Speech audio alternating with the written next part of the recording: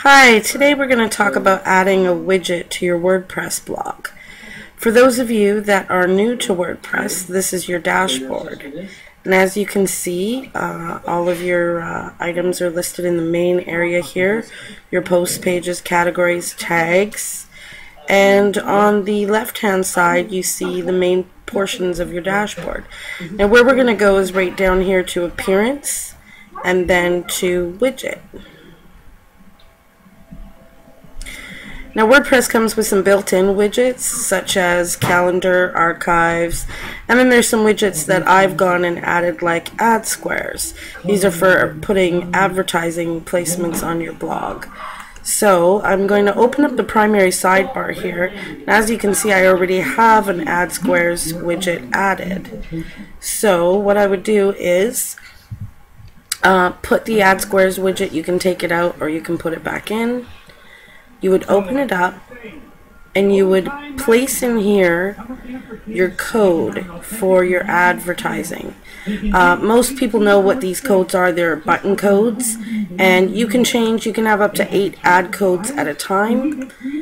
Uh, right now, I'm just using two, and you can randomly shuffle them or have that on yes or select to no. I have it set to no, and then you just go ahead and save. And you can leave the padding here the way that it is. And if you want to see what the ad uh, squares look like, then we're just going to go ahead and take a look and see what this looks like. So I've gone ahead and refreshed, and this is my main site from JS Designs. And as you come down here, you can see my two ads are placed here side by side.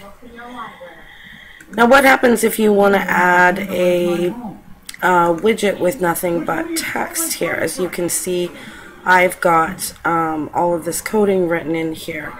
And all of this coding is for this area up here, which is my subscribe and socialize.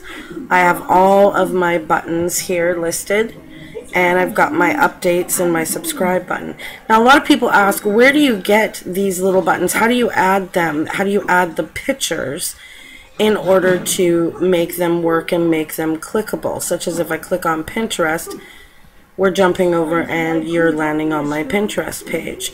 So the easiest way to get and make these clickable is to um, uh, go ahead and I'm going to open up my web browser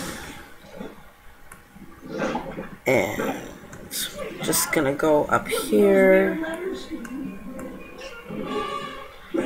I'm going to show you in my web browser. I'm going to type in PhotoBucket,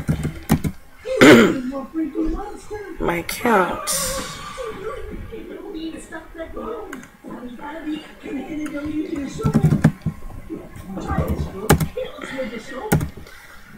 And I'm going to log into my account and I'm going to show you how I get these little buttons here to uh, show up in a widget on my sidebar of my blog. So go back and wait for PhotoBucket to load up.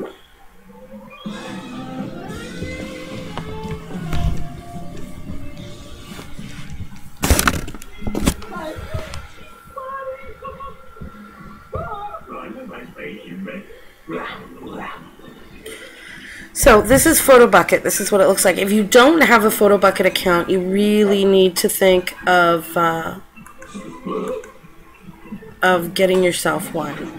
So if I scroll down here, I'm going to view my library.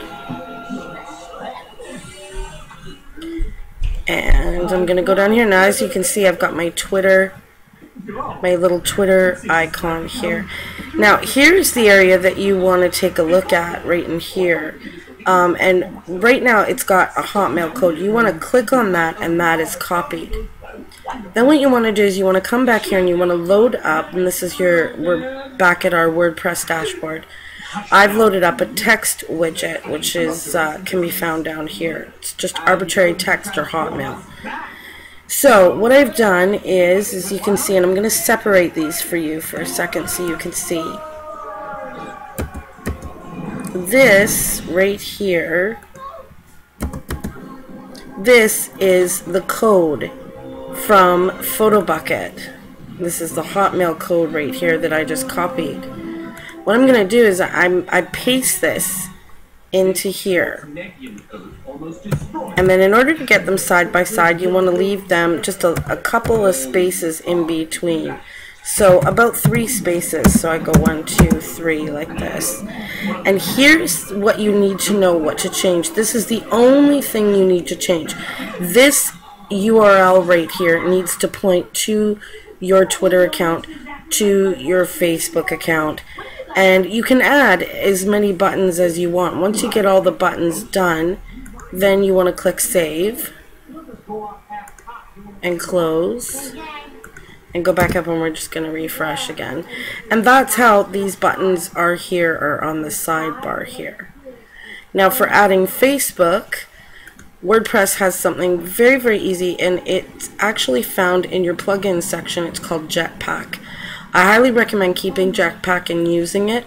Jetpack makes it really simple to add a Facebook like box, which I've done through here and all you do is type in a title for you know find me on Facebook or join us on Facebook type in the URL of the page you can set the width and the height to whatever fits the size of your blog.